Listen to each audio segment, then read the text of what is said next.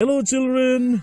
In this video we will learn about what is hundredth. There is a sale going on in several places in the Champapur market.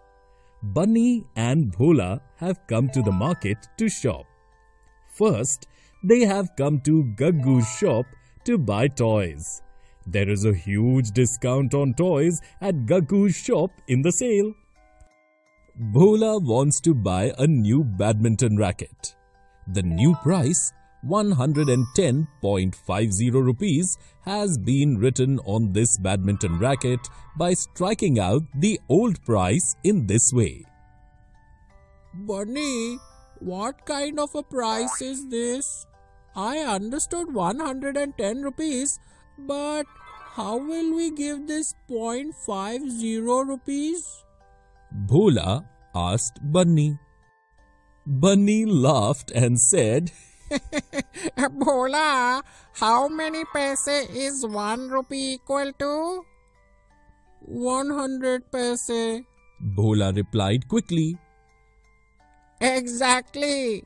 Suppose if we represent 100 paise by making a hundred squares in this way, then 1 square would be equal to 1 paise. If we take one of these 100 squares, then we can write it in the form of a fraction as 1 by 100.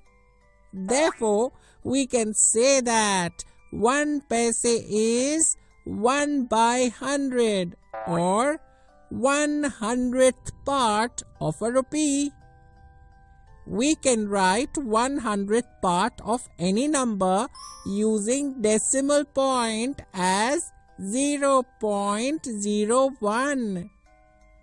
The price of a badminton racket is 110.50 rupees.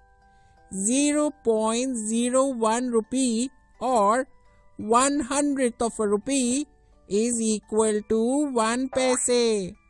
Therefore, 0.50 rupees will be equal to 50 hundredth part of 1 rupee or 50 paise. In this way, the price of a badminton racket is 110 rupees and 50 paise. Bunny explained to Bhola. Bhola quickly understood. Bhola bought the badminton racket by giving 110 rupees and 50 paise to Gaggu. Now, both of them have come to eat ice cream at Babban's ice cream stall. Chocobar ice cream is being sold at a heavy discount at Babban's stall. Seeing the new price of Chocobar ice cream, 4 rupees 25 paise, Bhola told Bunny Bunny, I can write the new price of the ice cream using decimal point. Children, can you tell how we will write the new price of Chocobar ice cream using decimal point?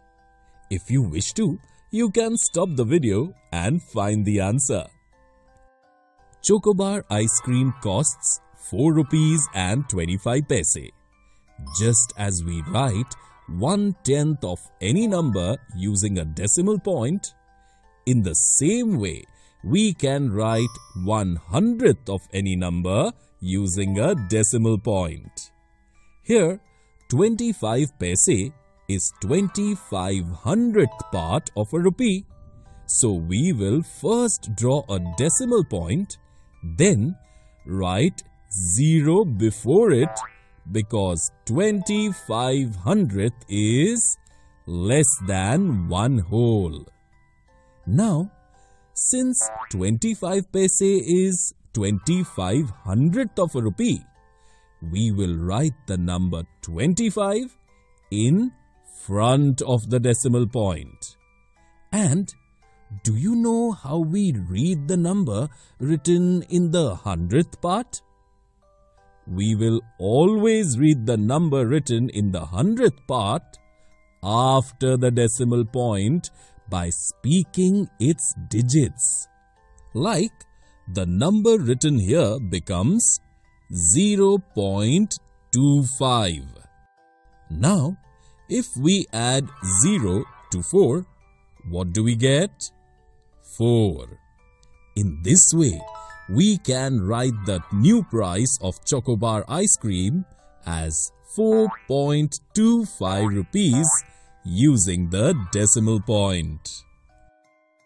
Bunny and Bhola bought one one Chocobar ice cream each from Babban and happily returned home eating ice cream.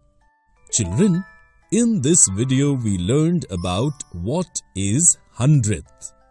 In the next video, we will learn more about it through some interesting examples.